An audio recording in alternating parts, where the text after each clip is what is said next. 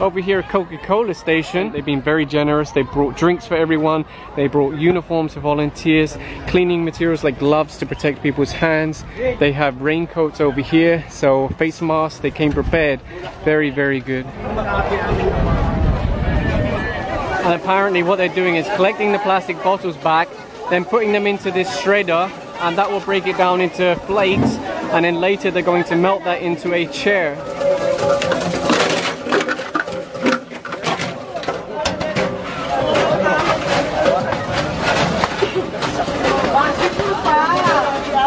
Pretty tiring, I just tried it myself.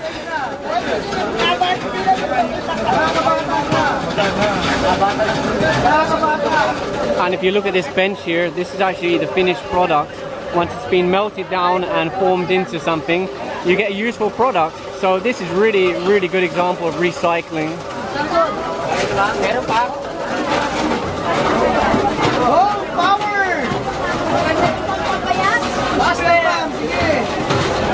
The finished product. You'll see little flakes.